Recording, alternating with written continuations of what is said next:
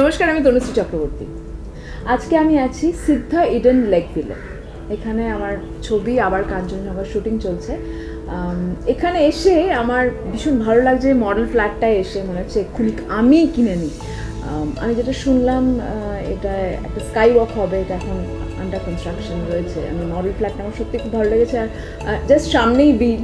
একটা সুন্দর লেক রয়েছে। তো, এখানে এসে অ্যাটমসফিয়ারটা দেখে আমি রিয়েলি ফিলিং গুড সারাদিন শুটিং করলাম। আর আপনারা যারা চাইছেন এখানে আসতে একবার এসে দেখে যান। দেখে জাস্ট বুক অফ ফ্ল্যাট